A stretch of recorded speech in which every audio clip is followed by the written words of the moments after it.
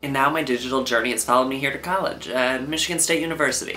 Even though I've only been here for one short month, a lot of opportunities in the social media, digital humanities, digital whatever field have already been presented to me. I was lucky enough to be chosen as one of the Broad Scholars, and what that is is basically the top 16 business freshmen are paired with a mentor um, within Michigan State University's Business College, the Broad College of Business, and then the mentor picks what medium of business they would like you to study. Luckily, I was paired with one of the marketing professors, Chen Lin, who teaches Marketing 460. One of the projects that she's having her students do this year is help to rebrand and publicize or overall market um, a local business here in East Lansing. Because I have previous digital marketing experience, Chen has put me in charge of the 40 senior marketing students.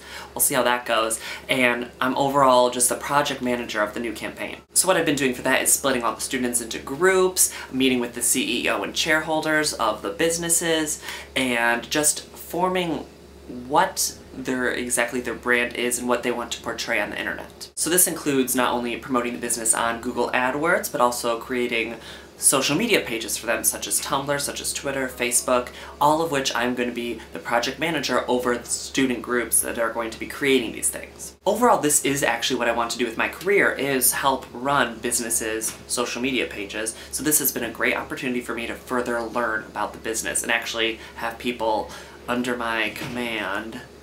People should know not to give me power, but oh well. So overall, basically, I just really like social media a bit too much. You know how when you're younger, your parents are like, oh, don't give out any information on the internet, strangers will find you.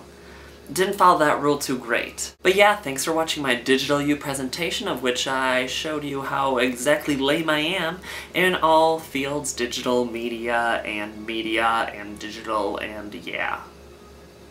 Thanks. Peace.